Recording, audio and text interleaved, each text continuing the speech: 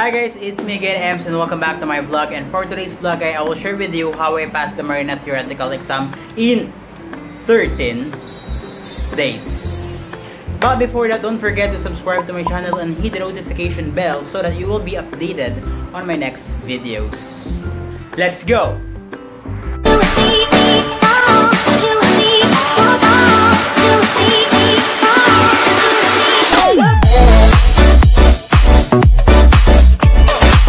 So I completed academic requirements May 11, 2018.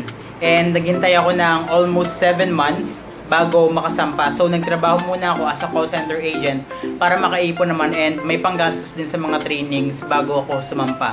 So nag-medical ako October then nakasampa ako ng December. December 14, 2018. So my first flight, sobrang ignorante sa aeroplano, yung tipong hinahanap ko yung uh, saksakan ng, ng earphone kung nasaan yung pala nandun lang sa may upuan. So yun guys sa mga bagong, um, sa mga first time lang din mag-aeroplano internationally or domestic, yung saksakan po ng, share ko lang, yung saksakan po ng, ng sa earphone doon is, and, yung outlet, andun siya sa may upuan. Pero di ko sure kung lahat ng aeroplano is ganun. Basta yun. So, bumaba kami ng... So, one year, one year ako nag-stay sa barko. And uh, almost one year pala kasi kulang kami ng um, 6 days para matapos yung uh, requirements namin which is the one year nga 365 days. And bumaba kami, bumaba ako December um, 9 ng barko. Then dumating kami sa Pilipinas December 10. So since kulang kami ng ano ng araw sa uh, requirements na dapat namin i-meet, so nag-OKA muna kami. So ano yung OKA? Um, kailangan namin sumampa ng uh, ng, ng minimum of 7 days sa barko ni Kapitan Oka para makumpleto yung requirements na kailangan namin i-meet. So nag nagstay kami doon for 7 days. That is December 19 to December 26 ata. Tama, December 19 to, to 26. And uh, kaya hindi ako agad nakasikaso ng mga requirements ko kasi yun nga kulang. So naghintay pa ako hanggang December 19 and then hanggang sa matapos ng December 26. So natapos yung New Year, first week ng January, nag-start na ako ng trainings. Ay nag-start muna pala ako na magkasikaso ng ano, ng BS ko sa sa sa school ko kasi syempre hindi ka naman makakapag-exam pag hindi mo pa naayos yung BS mo sa school. So, inasikaso ko lahat ng mga dapat gawin on, uh, on first week ng January.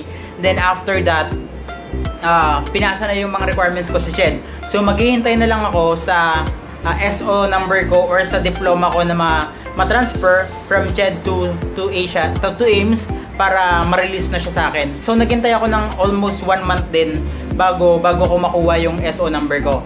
So that time, habang naghihintay ako, syempre, is nag-take na ako ng training. Dalawang training yung kailangan mo munang i-take bago ka mag-exam ng theoretical exam sa Marina. Kasi yun yung bagong sistema ng Marina ngayon. Na unlike before, okay lang kahit uh, mag-exam ka na kaagad pag nakuha mo na yung BS mo. Ngayon hindi siya hindi, hindi na siya hindi na siya ganoon. So kailangan mo muna mag-take ng dalawang trainings which is the ATFF and the MEFA. Yung medical first aid and yung advanced firefighting. Ang inuna kong training is yung ATFF which is um, natapos uh, sinimulan ko siya ng January 13 to 17. Tapos after ng training na yun, syempre nag, nag habang nag-training ako is nag nagpa-schedule na agad ako ng MEFA which is from January 20 to 24. Pagtapos ng ATFF ko sa MEFA ko, um, kailangan mo pa rin siya ipa-COP. So, sa COP naman is maghihintay ka rin ng mga almost 2 weeks, 1 week. Kapag tapos na yung COP ko, so, yung SO number na lang hihintayin ko para makapag, finally nga, makapag-exam na, makapag-file na ako ng schedule for my examination. So, after nung ma-COP ko and makuha ko na SO number ko, so settled na. So, ang ginawa ko na is, magre-review na ako. Bali guys, January pa lang, nag-enroll na ako for review. Okay? Para um, in case nga na ma, ma, ma, matapos ko agad lahat ng requirements ko, makakapag-review agad ako at makakapag-exam, makakapag-appoint agad ako ng exam. So, nag-start ako ng review from February 17 to 20 and 24 to 26 and 28. May mga gap siya kasi uh, may Sabado Linggo eh. Tapos may mga araw din na hindi ako na uh, napasukan kasi uh, may may may may mga ginagawa rin akong ibang bagay bukod sa pagre-review. And uh, nag-review ulit ako from uh, March 2 to 6. Uh, yung pagre-review ko is tumatagal ng 4 to 5 hours. Huwi na ako ng 4 kasi sobrang traffic na sa EDSA, mahirap na sumakay. Minsan nga nakasabit ako pag umuwi. Tapos, yun nga, pinakamatagal na yung 6, yun yung uh, tumatagal ako hanggang 6, ano na yun, yung March na, March 2 to 6 na. So, nagtatagal na ako hanggang 6pm kasi syempre malapit na mag-exam. So, I decided to take the exam March 10. Decide ako nung March 10 na mag-exam kasi feeling ko ang tagal-tagal ko na nagre-review. Yung feeling ko na 13 days na yun, parang um, parang sobrang tagal na niya para sa akin. So pag magre-review kayo, make sure na dapat naka-focus kayo. Huwag niyong pansinin yung ingay na maririnig nyo sa paligid nyo. Mas maganda magdala kayo ng earphone na pag sinalpak mo sa tenga nyo is ma-minimize yung ingay na um, ma-minimize yung ingay sa loob ng kwarto. Okay? Tapos, make sure na magdala kayo ng papel sa ballpen. Kailangan isulat nyo yung mga questions na binabasa nyo, pati yung mga sagot. Kasi, kasi kung hindi niyo susulat, like babasahin mo lang din tomorrow, baka makalimutan mo na. May nagsasabi nga sa akin doon, bakit daw ako nagsusulat? Siyempre, the more na sinusulat nyo yung mga questions at yung sagot, mas madali nyo yung, mas madali, mas madali nyo nalalaman, ay mas madali nyo natatandaan yung mga question na yun you have to make sure na dapat naiintindihan mo talaga yung tanong. Kasi kung hindi mo siya maiintindihan, pag nagkaroon ng ibang situation sa sa during the actual exam, edi nga nga ka. Guys, kung ako sa inyo, kung may tablet na binibigay yung review center na pinag-applyan nyo, huwag nyo nabasahin yung tablet. Why? Kasi may mga tanong at sagot dun sa tablet at pag nag uh, pre-board na kayo na magkaiba yung tanong. So malilito lang kayo talaga. Kaya dapat mag-focus na lang kayo sa review center. Kaya doon na agad kayo mag-review. Ako kasi hindi na ako nag hindi, hindi ako nagbabasa sa uh, hindi na ako nagbabasa sa tablet.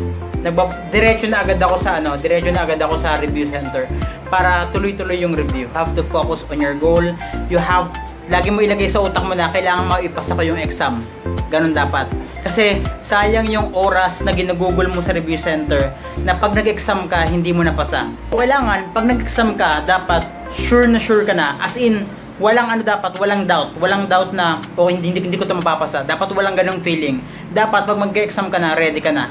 The more na sinusulat niyo yung questions and yung situation, mas matatandaan mo kung ano yung situation at yung tanong pagdating sa exam. Kahit isang milyong beses ka pa magdasal dyan, kahit pumunta ka pa sa napakaraming simbahan dyan para magdasal para mapasa ka sa exam, kung hindi mo naman ginagawa yung part mo, hindi ka nag-review, hindi ka nag-focus, hindi ka naman ganun kadeterminado para sa goal mo, I don't think mababasa mo yung exam. Dapat bukod sa nagdadasal ka, may foundation ka sa sarili mo para maipasa mo yung exam. Dahil yun yung key talaga, yun yung key magsipag ka sa pagbabasa, magsipag ka sa pag-review, at magdasal ka. Yun lang yung pinakakailangan mo para maging OIC ka. And of course, huwag mong kakalimutan, money. Kaya sa mga international dyan or sa mga sumampa internationally, swerte kayo kasi meron kayong mga uh, meron kayong allowance na nakukuha not unlike yung mga yung mga yung mga kabaro natin nasa nasa ano nasa inter island 'di ba nasa kanilang disadvantage kasi wala naman silang nakukuhang allowance tulad ng tulad natin na international sumampa. Kaya wag niyo sayangin yung opportunity na pag nasa barko kayo, kadete pa lang kayo ay waldas dito ay waldas doon. Guys, sasampa ka ulit. Okay? Pwede mong i pwede mong isang tabi muna yung pagwaldas mo ngayon tapos pag naging officer ka na, pag naging engineer ka na o kaya naging rating ka, saka ka gumastos. Kasi sa pagkakadete mo, yan yung time na kailangan natin mag-ipon para maka, para mas makamit natin yung mas mataas nating ano pinapangarap. Kumampa tayo as a cadet para matuto tayo at para makaipon ng pera at makapag-exam. Kaya pagbaba nyo ng barko, alamin nyo kung ano yung dapat nyo i-priority. Hindi yung girlfriend at hindi yung pagwawaldas ng pera sa kung ano-ano. So pag mag-review na kayo, make sure that you will focus, you know your goal, and don't stress yourself and magdasal bago mag-exam. That's all for today's vlog guys. I hope may natutunan kayo kahit konti lang na magagamit nyo pag magre-review kayo. And uh, good luck sa mga mag-exam after ng COVID. Sana matapos na to para magtuloy-tuloy yung proseso ng ating career sa buhay. Don't forget to subscribe to my channel and hit the notification bell so that you will be notified on my next videos. And don't forget to hit the like button.